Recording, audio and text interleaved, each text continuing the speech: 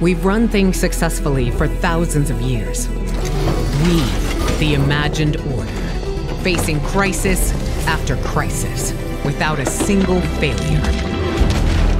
But since Jones betrayed us, now it's clear. He wasn't working alone.